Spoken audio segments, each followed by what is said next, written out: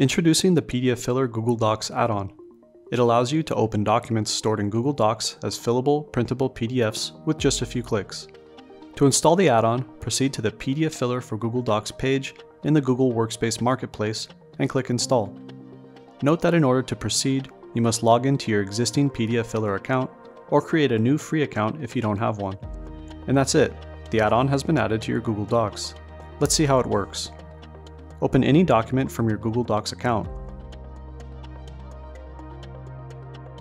Click the Add-ons button in the toolbar. Select PDF Filler for Google Docs from the dropdown. Grant PDF Filler access to your document, then click Edit as PDF to begin editing your document right away. With PDF Filler, you can modify your document's content, type or erase text, highlight important information and black out sensitive data, add sticky notes, images, and so on. Insert fillable fields, sign your document electronically or collect e-signatures from one or multiple signers, rearrange pages inside your document, add more pages, and delete the ones you don't need.